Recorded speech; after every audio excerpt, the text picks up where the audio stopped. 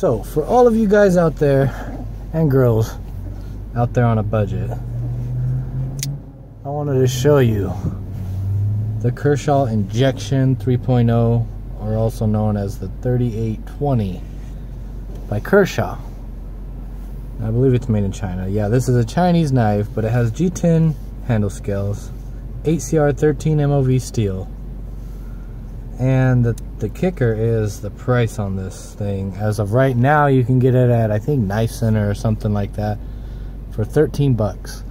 This knife retails for about 60. The blade spacing on it is perfect. It comes razor sharp. Of course, this one's used. Um, it's already got a little, it will rust. I didn't know this steel will rust, but 8CR 13 MOV will rust. Um, it's got a rust spot there. It probably won't be able to see it. But uh, anyway, comes razor sharp. Hope this ain't an important receipt. oh well. But yeah, of course this receipt all mangled. But yeah, it comes super sharp. Of course this is used. And uh, the blade spacing's perfect. And you got even a milled out handle scale. It's super light compared to some of the other knives I got anyway.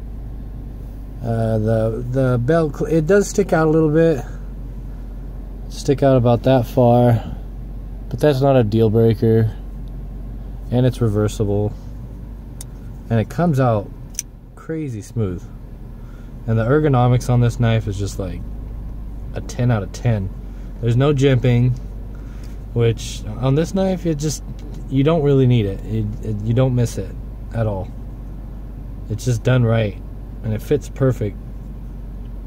Um, there's not much to say about this other than if you're looking for a knife on a budget, but you want a high quality knife, this might be the one for you. The Kershaw Injection. I believe there's a bigger version out called the 4.0 or something like that. But uh, this knife for the for the for the price is like crazy. It's crazy. I know you guys can't see it because this camera won't will not focus for the life of me, but it's got a G10 handle there. The handle is thin, but it's not so thin. You can see right there where it's not touching. You can't bend it. It's super hard. Um, durable. A great EDC knife for the price That's pretty much it for this one. Don't forget to like, comment, subscribe for more. Peace out. Go get one. It's 11 bucks, bro. 11 bucks.